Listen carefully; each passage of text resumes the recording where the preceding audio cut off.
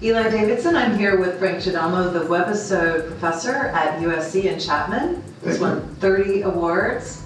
So Frank, why do small business owners need to shoot videos?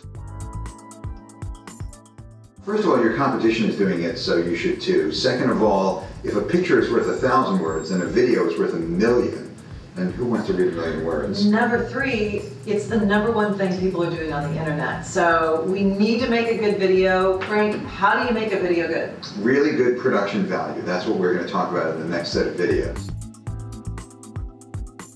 Production value means that you're going to make something look as good as, or try to make it look as good as network television. So that means good lighting, good sound, good wardrobe, good setting or good background like we have here, and a good script. Mm -hmm. You need to have a good script. We've got ours. Uh, Literally taped to the camera there. right there.